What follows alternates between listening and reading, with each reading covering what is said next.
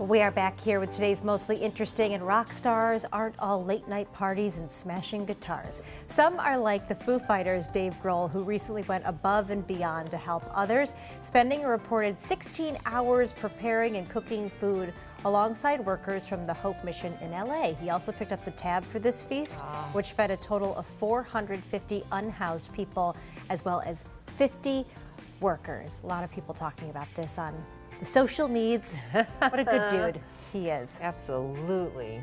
Good guy, that Dave Grohl. Like that, it gives you a little hope. Mm-hmm. He's a fantastic artist, too. Yes. Well, from one sweet story to a sweet story for totally different reasons. Kate, what's your favorite flavor of ice cream? I know this is very boring, but I am a sucker for French vanilla. You like French vanilla? Yes. Okay. Uh, would you ever try to expand your palate a little? I will eat the entire grouping if given the opportunity. But yes, if I had to pick a favorite, though, I do like a vanilla ice cream. All right. Well, a German ice cream parlor Good. is selling cricket flavored ice cream. And if that's not a lot enough, they've got cricket scoops with dried brown crickets, little itty bits. The, the, the ice cream is made from cricket flour, heavy cream, vanilla extract, and honey.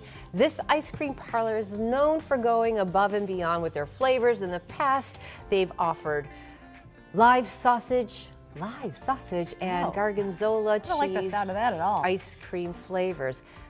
Oh, liver sausage. Well, that makes more sense, you know? Wow.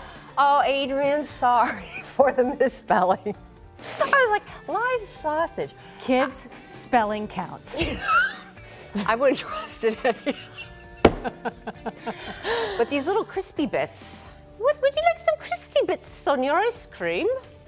I don't want to be a culinary chauvinist, but I don't know that I'm interested in, I mean, the poor crickets. No crispy bits for you. Oh, thank you. Although I've never tried it. Maybe it's great. Gorgonzola? You know what?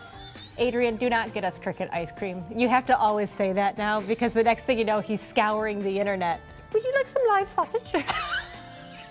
no. No, thank you. No, thank you. Hmm. No, thank you.